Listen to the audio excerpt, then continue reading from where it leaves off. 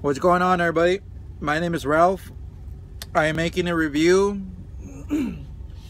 of my Ruger LCP2. Now I just saw a video of a guy that was trying to credit this gun as a fail. I strongly disagree with his video. Now in this video he showed that he was trying to cycle some rounds manually and he kept getting a jam. he showed his other guns. He did the same with his other guns and they were working perfect. And then he, I went back and I saw the video of the of his uh, Ruger LCP2 and it was jamming up. Now I tried it prior to making this video and yes it was jamming up. But here's the thing. The reason it's jamming up is because when you cycle some rounds manually it is not the same as when you fire the gun because the slide is supposed to go back faster and stronger than when you do it manually. Okay here's an example. Okay there's no rounds. It's clear? So the way he was doing it he was holding the gun. He said no finger on the trigger. Okay. He proceeded by cycling it this way or this way or this or whatever. This is not the same force as when you shoot actually shoot the firearm. The slide is supposed to go back faster and harder and that gives the effect enough to shoot that casing out. Okay? Now the reason why his round was getting stuck is because um, anybody who's shot a firearm knows that when you shoot a bullet the case the casing remains but the bullet on the front shoots forward okay? So the reason it was getting stuck is because the bullet was still intact on the casing okay? And it's just enough space for it to come out of there. This port was not meant for a whole bullet to come out through there. Only the casing. The casing is going to be a lot lighter than with the bullet with a with a with a jacket on front of course. So it's going to be easier to eject it okay?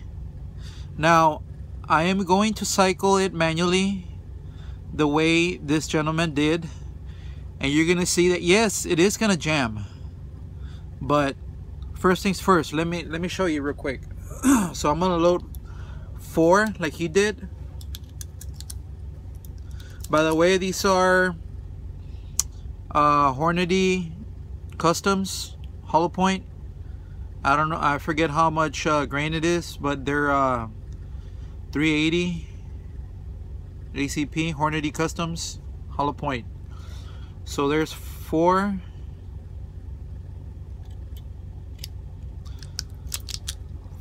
Four rounds. Okay. Now slide open. There's one in the chamber. Now watch. See, it jammed. Okay? I'm gonna do it again.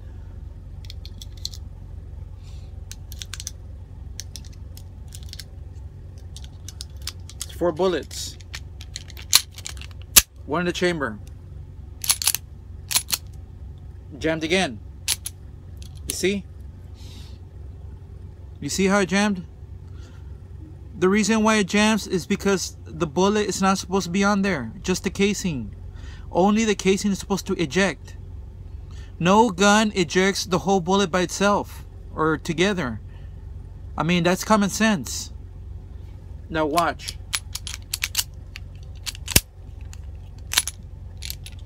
Okay, it's clear. Now, just imagine it that I'm I'm firing the gun.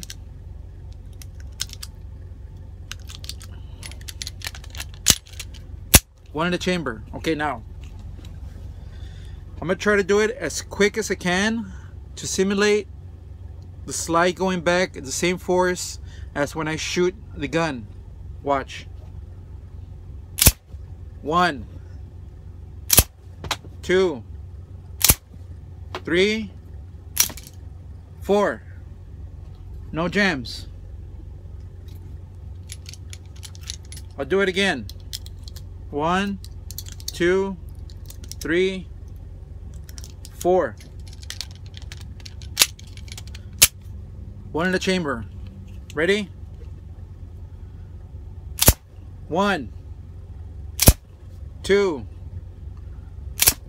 three, four. No jams. What is the problem?